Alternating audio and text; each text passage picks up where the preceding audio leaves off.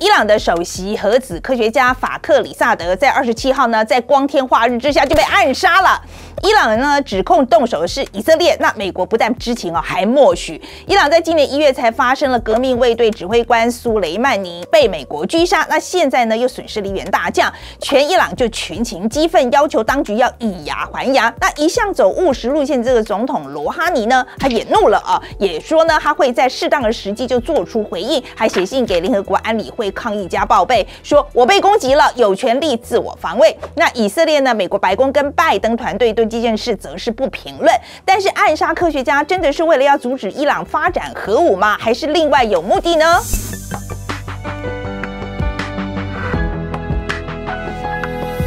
大家好，我是范启飞，欢迎收看范启飞的台内看世界。法克里萨德呢，在二十七号当天跟妻子一起去德黑兰近郊拜访岳父母。那大人物出门呢，一定是层层戒备，车子是防弹的，还有三辆保镖车跟着。结果还是没躲过埋伏。但暗杀当时的情况是怎么样？各家媒体跟目击证人都有不同的说法。因为事发地点的监视器疑似事先就被关掉了，什么都没拍到。纽时等多家媒体一开始就报道啊，车子是先爆炸，那接着呢，多名枪手就起机车出现，跟埋伏的狙击手一起朝车队近距离开枪。后来呢，当地的媒体法斯通讯社又说，枪手没有现身，而是远距离遥控一把无人机关枪扫射车队。三分钟之后，车子就自爆了。那伊朗国家电视台的阿拉伯语频道则声称呢，使用的武器是由卫星控制的。总之，在枪林弹雨当中呢，法克里萨德身中多枪，被送到附近诊所，等医疗直升机载他到德黑兰医院的时候，已经来不及了。那凶手呢，半个都没抓到。法克里萨德呢，是伊朗核子研究转为武器应用的关键人物。官方的掩护身份呢，是伊玛目海山大学的教授。中情局在两千零七年替小布希政府做了情资就分析显示啊，他在一九八九年到两千零三年之间，领导阿马德核子计划中编号的一一零跟一一一核弹项目，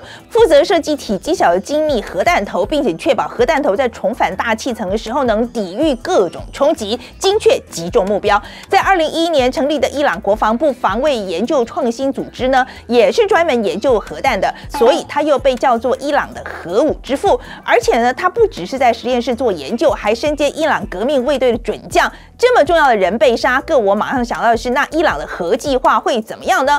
这很难说哦，因为根据二零一五年伊朗核协议，国际原子能总署的人每年呢都可以去伊朗的核机构视察，看他们是不是有落实这个协议内容啊。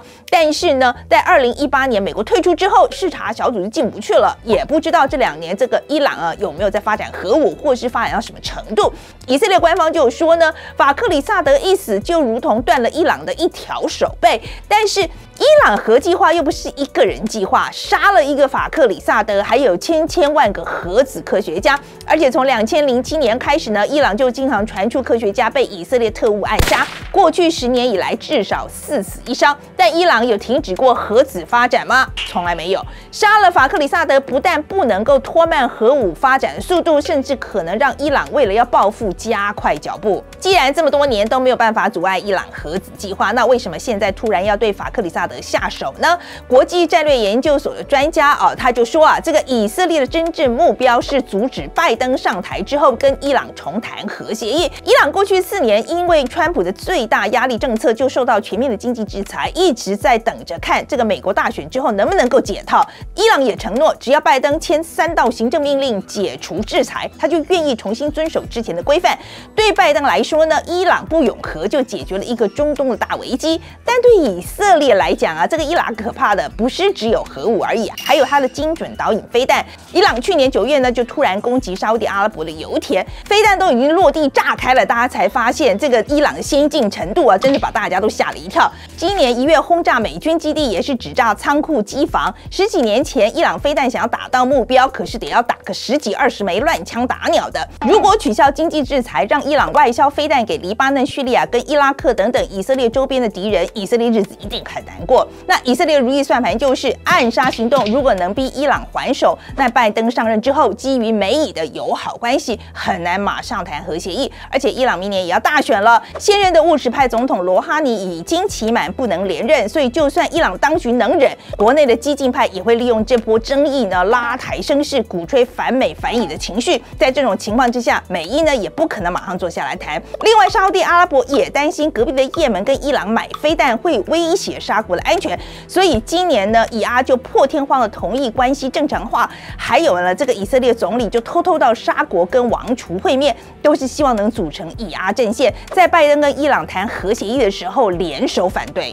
而美国一向跟以色列共享中东情资，这一次不可能不知情。那川普呢，对伊朗一直很感冒，眼看拜登上任之后又要推翻他的反伊政策，欧盟啊、中国啊、俄罗斯都还很支持，当然想要趁卸任之前就做点什么来打击伊朗。十一月十一号，一听到国际原子能机构报告伊朗铀存量超标，隔天呢，马上呢就召集高级幕僚，想要在卸任前攻击伊朗核基地。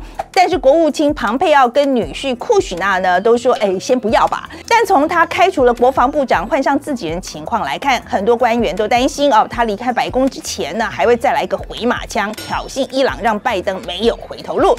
川普的做法自然就引发了许多的争议。那很多人认为，快下台总统不应该做这么重大决策，应该给新的民意选上的总统来决定。